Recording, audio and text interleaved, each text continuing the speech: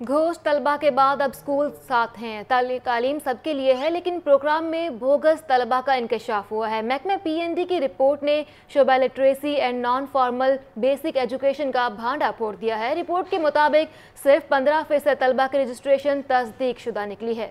Fund سے غیر روایتی اسکول بھی قائم نہ کیے گئے۔ اسی پر بات کرتے ہیں نمائندہ لاہور نیوز، عاطف پرویز ہمارے ساتھ موجود ہیں۔ عاطف، کیا تفصیلات ہیں؟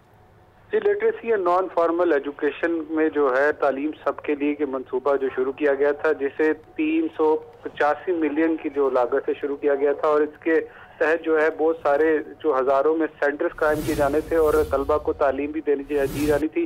اب پی این ڈی ڈپارٹمنٹ نے جو ہے اس منصوبے کی ایویلویشن رپورٹ تیار کی اور اس میں اس بات کا انکشاف ہوا ہے کہ اس منصوبے کے تحت جو ہے ہزاروں گوشت طلبہ جو ان کا ڈیٹا فراہم کیا گیا اور ان کے نام پر پیسے وصول کیے گئے اور جو ڈیٹا جو ایویلویشن برانچ کو دیا گیا تھا ڈپارٹمنٹ کو دیا گیا تھا، اس کے مطابق صرف پندرہ فیصد طلبہ و طالبات کا جو ہے، ان کی تصدیق ہو سکی ہے۔ اس طرح ہی بہت سارے سینٹرز قائم کیے جانے تھے، لیکن اس پروگرام کے تحت وہ سینٹرز بھی نہیں قائم ہو سکے۔ تو رپورٹ میں یہ بات کی گئی ہے کہ جو ان سینٹرز میں پڑھنے والے بچے تھے وہ کسی جگہ پر ان کی جو جانچ پڑتال کی جا رہی ہے جو ٹیسٹ لیا جا رہا ہے وہ پنجاب ایگزامینیشن کمیشن کے تحت نہیں لینا چاہیے۔ اور اس کے ساتھ ساتھ یہ بھی کہا گیا ہے کہ اگر اس منصوبے کو دوبارہ جاری کرنا ہے رکھنا ہے تو اس کے لیے جو ہے مزید تبدیلیوں کی ضرورت ہے۔ اور جو سینٹرز کی تعداد جو اس منصوبے میں رکھی گئی بہت شکریہ آپ کا پرویز۔